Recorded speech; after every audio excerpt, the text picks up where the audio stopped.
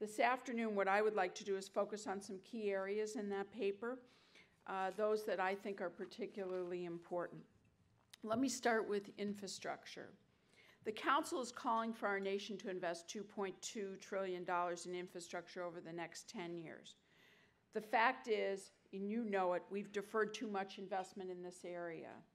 With interest rates so low, we should put construction crews back to work building transportation hubs and links that can move our goods and services around the world. The long term benefits are clear more efficient production and delivery, stronger exports, and more competitive business overall. It's not just about roads and bridges. In the 21st century, our digital infrastructure will only become more crucial. So, for our part, the Commerce Department has worked since 2009 to deploy more than 100,000 miles of broadband. This is bringing more opportunity to hundreds of rural and underserved communities in every corner of the country. So, I like to say bridges to broadband. We need all of it. Before we move on, I'll just note that the private sector itself can play a stronger role with infrastructure investment. For example, ideas like the National Infrastructure Bank have garnered strong bipartisan support. The point being, we can't wait any longer.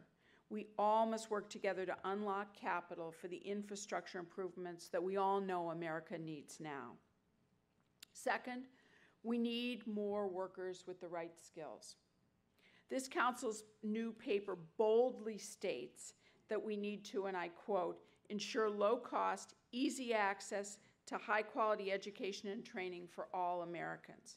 I couldn't agree more, which is why I've been working very closely with Labor Secretary Tom Perez on this issue. On Friday, the President, President Obama went to Brooklyn to visit uh, a school that's called Pathways in Technology Early College High School, or PTECH as we've called it. Uh, that school is focused on STEM education and training, something I know near and dear to everyone's heart here. In Chicago, when I served on the school board, we liked that model that, was, that exists in Brooklyn so much. We launched five of these schools in Chicago, partnering with IBM, Microsoft, Cisco, Motorola, and Verizon. An emphasis on STEM education is smart. And we know this. After all, STEM related jobs are growing three times as fast as other jobs, and they pay about 25% more. More broadly, I think we need to focus on helping the long term unemployed find paths to new jobs. The fact is, we have 4 million job openings, even though about 4 million Americans have been searching for a job for over six months. So, to bridge that gap, it requires not just matching, it often requires retraining. So the council, I think, is really on the mark in calling for stronger partnerships between training institutions and businesses.